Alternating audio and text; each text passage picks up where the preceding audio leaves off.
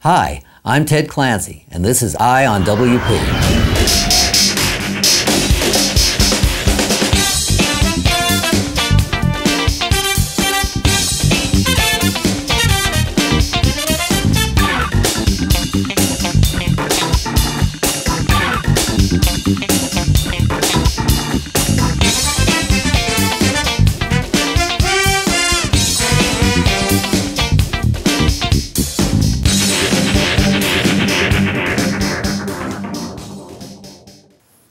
Hello, everybody. My name is Ted Clancy, and welcome to this edition of Eye on WP. As always, Eye on WP takes an in-depth look at a particular area or program that helps to make up the intricate fabric of William Paterson University. The organization that we're going to look at today forms part of the bedrock of the university, having been in existence in one form or another since the very beginning, since we were a normal school in the city of Paterson. This stream of educators has conceived, implemented, and maintained programs over the decades that have helped thousands of men and women. And they continue to grow in order to serve the needs of an ever expanding global community without once losing sight of their local and regional responsibilities. Their graduates have influenced in very fundamental ways students of all ages all over the world. Today, we'll be visiting with some of the people who are a part of the College of Education. First, let's get an idea of its history. William Paterson started off as a, as a teacher's college. Uh, and so, teaching, we recently celebrated the 150th anniversary. That was really a 150th anniversary of teaching and preparing teachers. And certainly, as the college changed over time, other programs were added and have become uh, premier programs as well. Uh, but I think that we're teaching is at the core of what we do, and it's probably reflected in the the teaching of the faculty in general. That's one of the reasons I think I'm so passionate about Paterson. The, the, the university started in Paterson, and it started as a teacher training institution. And so the college has been a major force at the in the university since its inception. And so the, the history of, of the College of Ed has been um, how can I say, has, has been a good one mm-hmm. um, because of our history of being in the community and uh, trained teachers, not only to be inquiring educators, but also to be multicultural educators as well. William Paterson started many years ago as a normal school for teachers, and so its focus has always been in education. And um, I think it's come a long way in terms of expanding that role, where we offer many different programs in the College of Education to uh, teachers, to aspiring leaders, to school counselors, uh, to special education teachers. And so I, I think we serve a lot of different purposes for the school and the communities around the surrounding area here. The College of Education is what really has sustained William Paterson University from becoming a normal school. Um, we have not really gone too far from our roots, although originally in Paterson, just up the hill. Um, and I think that we've really stood true to our mission. Our mission was to become a premier institution of preparing, you know, outstanding, highly qualified teachers, and I think we do a great job. Next, we'll take a look at some of the programs as well as some of the jobs that people do in the College of Education. We have extensive graduate programs here in the College of Ed. So we work to prepare principals, to pre pre prepare specialists in a variety of fields, uh, reading specialists, mathematics specialists, ESL bilingual, early childhood specialists, so we, uh, counselors. Mm -hmm. So we have a, a wide array of programs for uh, people that are professionals already and want to come back to school to enhance their skills and knowledge. I'm the director of the Child Development Center, and we're here. Um, we work in conjunction with the College of Education. So the um, students enrolled in the P3 program, both the undergraduates and alternate route um, students, will come here, and some of them do practicum, some of them do student teaching. Some of them are here to do observation. I'm off campus quite a bit as well, meeting with um, local superintendents, local principals, um, other you know, state groups that Les and I belong to, oh. uh, to keep abreast of what's going on, mm -hmm. you know, at different levels of government that impact teacher oh. education. For about eight years now, I've been the director of the Office of Field Experiences. And uh, that is, I think it's the heart of what we do here at the College of Education because we're uh, working with all the school districts uh, to place our students in practicum and student teaching. I'm able to be a part of the pre-service part when our candidates decide here at the university that they want to become teachers. I'm a part of the part of helping to cultivate that, ultimately bringing them into the aspect of going out into the field, such as Passaic, Paterson, Garfield, and of course even our local community of Wayne. In speaking with uh, the faculty, and, and I know part of the university's uh, mission is community outreach. Now, I think you guys are involved with quite a bit of that. Is there uh, just one or two uh, things that you can that you can highlight that oh, yeah. that people might be interested in yeah. hearing about. One, one of the issues that we have uh, and we confront is that the urban centers are are often areas where one the uh, the teachers are not often the most um, I guess well prepared. And in working with Paterson, one of the things that we did was we uh, initiated some five years ago a project called Paterson Teachers for Tomorrow, as an example. That project takes students from the high schools in Paterson, brings them onto William Paterson's campus with the understanding that they're going to go back to Paterson. We get involved in, in uh, Garfield, Passaic, and other, in other districts. I run a program called Paterson Teachers for Tomorrow. And that program uh, mentors students in three high schools, in the three major high schools in Paterson, mentors them, students who want to be teachers. And um, we take them out on field trips to Broadway plays and, and to try to give them a, a well-rounded sort of experience. And uh, so long as they've been involved in FTA clubs, in Future Teacher of America clubs, as well as um, volunteer work, we invite them to come to come to William Paterson to apply to William Paterson, and we give them a full scholarship tuition only scholarship, okay. so long as they also promise to go back to Paterson to teach. So, what we're doing really is grooming teacher insiders, or what the literature uh, calls community teachers. We do a lot of outreach programs. One are these partnership schools that we're involved with. Uh, so, we invest in having faculty who are there full time, some, sometimes one or two days a week.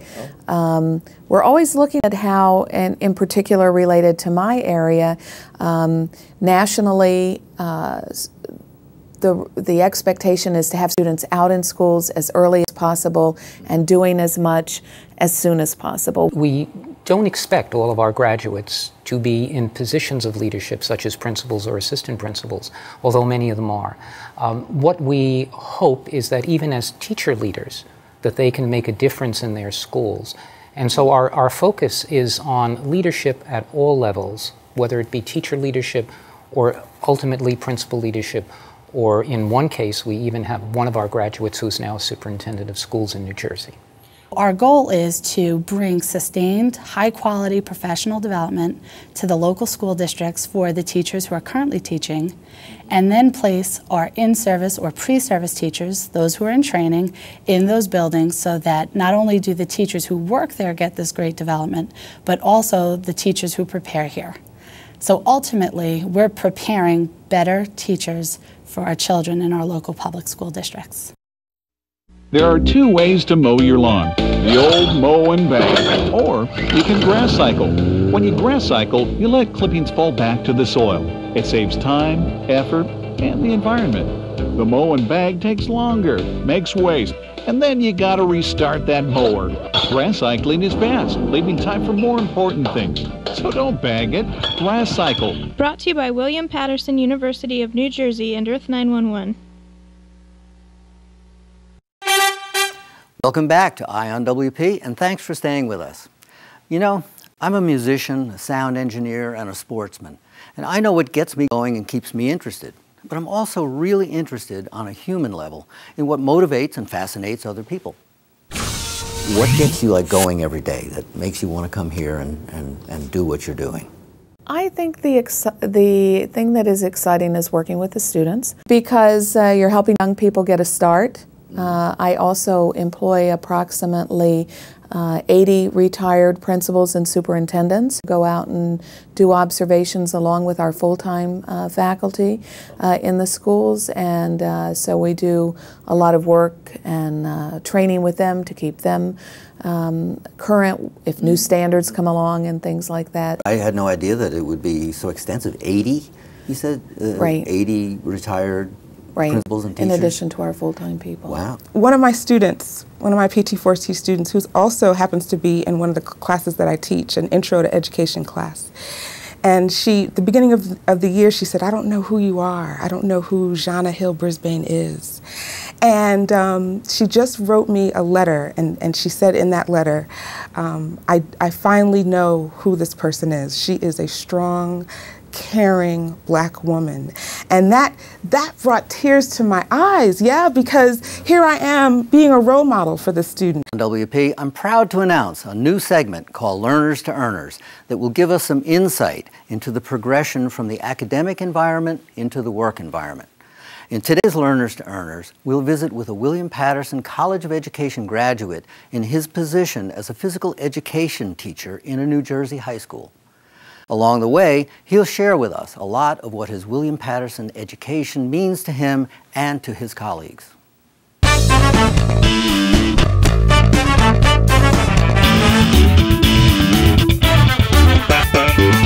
Uh, my name is Eric Stanco. I work at the uh, Union County Magnet High School, and I'm a fitness and health instructor. Uh, I get here about half hour early just to set things up. There's a lot of setup in PE. Um, I actually go over. Station is housed at 1600 Valley Road in Wayne, New Jersey. This is one of William Paterson's newest facilities, and it's equipped with the latest teaching tools. I asked my guests what they thought of the technology available to them at William Paterson. It's absolutely wonderful. It's premier. Everything is at your fingertips. Technology, uh, I think it changed the way our faculty teach uh, because they're able to walk in and have at their command um, the internet access, uh, you know, videos, uh, just all kinds of ways to bring things into their teaching. Any kind of technology you need, including access to the internet, is available from your teaching platform in the classroom, which is so very, very critical. I'm also able to um, incorporate websites or, or the computer computer applications in my class and I can do that by showing them for example let's go to discovery.com and I can I'm able to do that. The technology I think is really state of the art um, I actually teach um, document camera acts as a overhead projector. Oh. and so this this document camera is is much more uh, 2000 high-tech kind of device where we can actually not only put a overhead on the document camera, but we can also just take a book, for example, and put that right on the document camera, and doc the document camera sees the words instead of it having to be see-through. We have to make sure that our students know what are some of the things that are out there that they need to use as an aid to whatever the content of that curriculum is to be delivered as part of the class as opposed to an ad. The, the technology now to be used just as if you were using chalk on a blackboard. And that's something that we prepare our students to do. It is amazing to see what we are able to offer our students by the way of um, our teaching ability not just preaching that they need to know how to use technology, but actually modeling by using it in our classrooms so that we bring a, a higher level of learning to our students. I, I, would find it very difficult to teach in an environment without this kind of technology. I, I think it adds so much to the uh, um, understandings of what you're trying to do with, with the candidates in your program. It adds an incredible richness to the uh, teaching and learning experience, mm -hmm. right? Absolutely. It's like painting with lots of colors. So the technology here meets the needs of our pre-service students, it meets the needs of the districts, and we basically lead in, in that area. So uh, I'm very comfortable with that. Hey, changing your oil? Yep. I'm just about finished. You hand me that wrench? Here, take this. What's this for? Recycling your motor oil. Just call 1 800 Cleanup and they'll tell you the closest place to take it. Hey, I know you. Finish the job and recycle it. I've been changing my own oil for over 40 Back to Eye on WP. Just a few years ago, my family and I were grappling with the question of where our son should go to college. And this is one of the most important questions that we asked. Why should I send my son or daughter here to study? What's special here that I? Well, I'm thinking about sending my son here, oh, so. Well, that, that's a pretty good recommendation. right. We've brought to the university some of the finest faculty who are used to teaching in urban education. We have brought on supervisors and adjuncts who are still working in the field to work with our pre-service teachers at night so that there is a continuum not about what used to be popular in schools, but what they need to know on a practical basis to come in and become a successful member of the educational community. And in turn, we produce great teachers. I think William Paterson is really one of the best kept secrets. The governor has a recognition program um, for outstanding teachers, and each school chooses themselves one outstanding teacher. And in Passaic County, they have a lunch to recognize these. And I think there's 70 schools in Passaic County. Out of the 70, how many do you think were William Paterson graduates? Oh, I have no idea. Half of them? Uh, it was 50 something out of the 70. So, Well, you know, and, and we didn't it? we didn't choose those students. Those were, I mean, those teachers. Those were teachers that the schools themselves were recognizing. Oh, because we have the best programs. not only that, but um, we also have a program with students who are not necessarily interested in, te- in, in going to Paterson, but want to just teach in an urban environment. We have a, an urban program for them where they not only do their student teaching in an urban school, but also their practicum in an urban school, so they can they, they'll have um, more of an experience, more an in-depth experience in one school. But not only do we have urban programs, but we have state-of-the-art teachers here, educators here, very caring educators who really think about how can we develop the entire child, not necessarily, or the entire student, not necessarily in their particular major, but how can we develop them as a whole person and make them a member of this democratic society, yeah? So, um, so I would say our teachers and our programs. In the College of Ed, we have a nationally accredited college, College of Education. We just received, again, after many, many years, we've been accredited, but we received it again, uh, accreditation from the National Council for the Accreditation of Teacher Education. Very prestigious. And um, so we're recognized nationally as a quality program. One of the good things about William Paterson University is, is that we work with students from all, I don't care wherever they're, wherever they're from. But Wayne in particular, um, we have relationships with the schools in Wayne, and we send our students, our pre-service students, to do work in Wayne because we know the quality of the teachers in Wayne. So why come to William Paterson from Wayne? It's in your back door. It's it's cheap. It's it's it's a cheap. when I say it's cheap, it's not that cheap, Yeah, but but it's it is it is cheaper cheaper than, than some others, and the quality of education that you will receive is excellent. So, I mean, those are the those are the criteria that, that we ought to be looking at, and the criteria that we should use. Thanks for joining us for this edition of Eye on WP. If you want more information about the College of Education of William Paterson University, visit our website. We hope you've enjoyed this edition. Eye on WP is an ongoing production of IRT that shines a spotlight on some of the exciting programs at William Paterson University. The broadcast production and support team enjoyed creating it, and we hope to see you for our next edition of Eye on WP. My favorite space, I don't know, might be the cafeteria. I love the cafeteria. There's a beautiful pond in the back, and I make sure that I have lunch in our cafeteria where I can overlook that pond. You can have lunch meetings downstairs. You can meet with students downstairs, and you look out the gorgeous view in the windows and see the ducks in the pond and all of those other things out there. So that's that's a nice nice feeling. It's such a serene, wonderful place to gather your thoughts, to collect yourself, and to, to just take a step back and become reflective and gather your thoughts so you can continue through the day.